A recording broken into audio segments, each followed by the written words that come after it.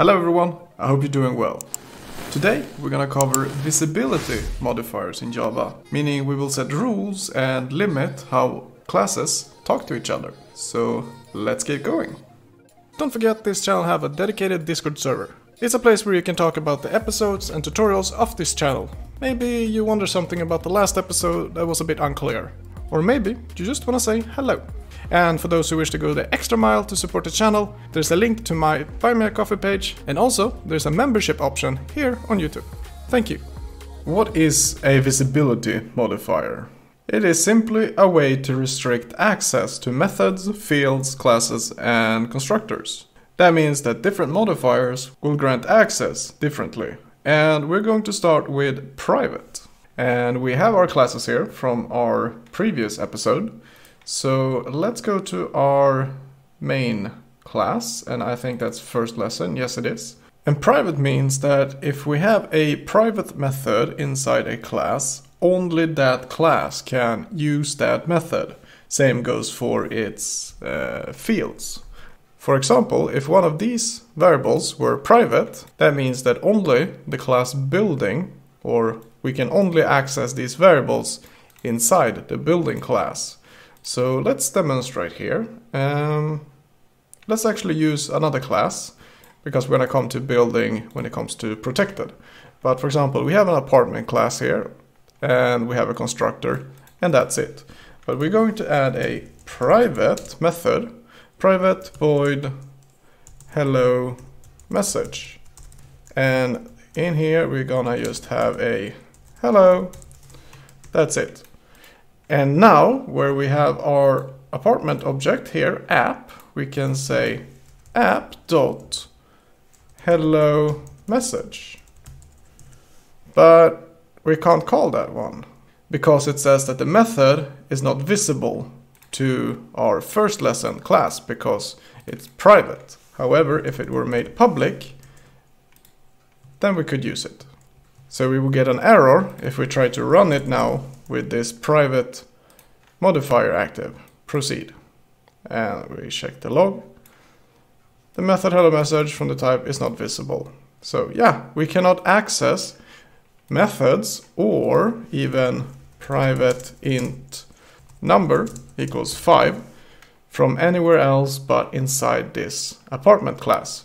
So in the constructor we can say hello message and we can remove that one actually. And now we can run it and we check the console here. Hello. So this works very well. Before I get to the next modifier, I just want to show this image, which you can see the different access levels depending on the modifier. So the one with the most access is of course public, the one that grants the least amount of access is of course private. And between these two we have a modifier that is no modifier and then we have something called protected. So let's get into the no modifier and what that means. And if you set no modifier, or default as it's also called, that means that you can access the methods inside the class with this modifier, but only in its in the same package. So right now we just use the default package, we never specified it. So let's go ahead and right click on our source, new package, and we can call this um, land, like in land. And then we can also create another one called water. And let's now put all our apartments and everything by clicking them, holding shift, clicking to apartment, left drag into land. So now they should be in the package land.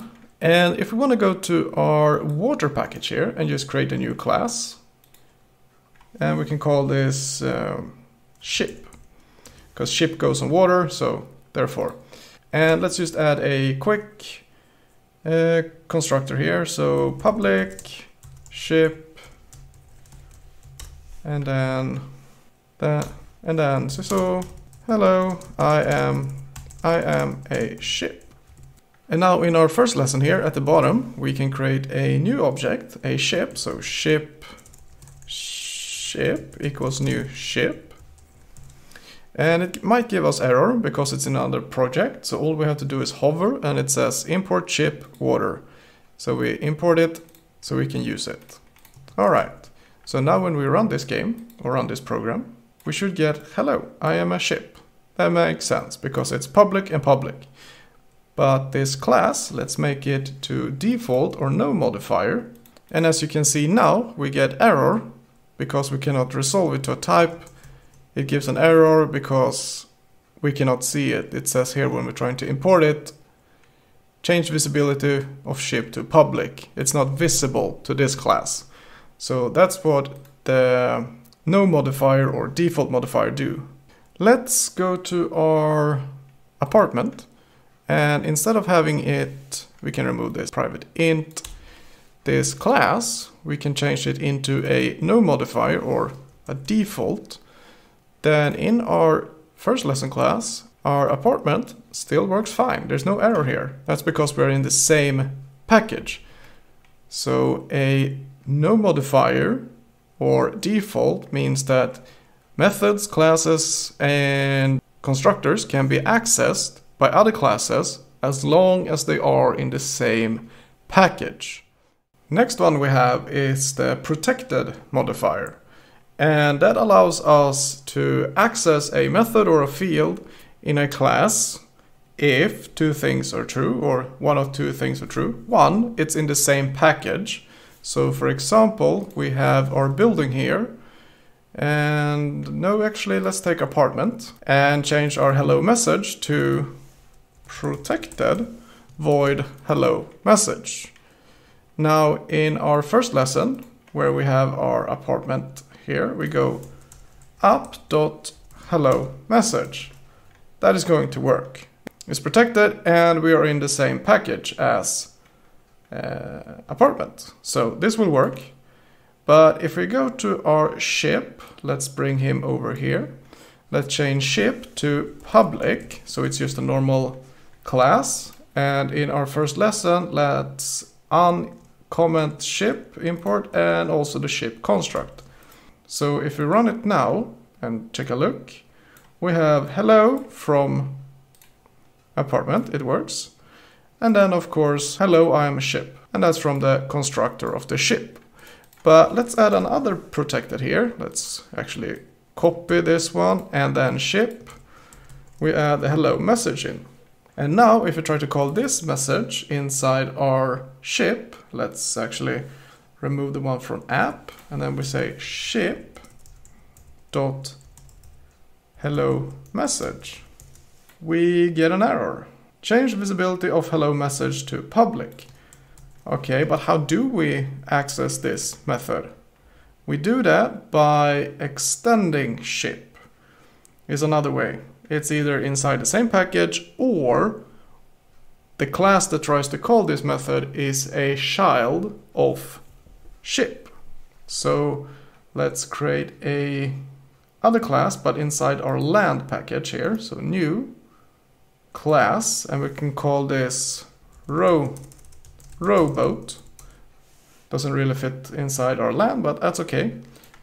Extends ship. So it's extending the ship class.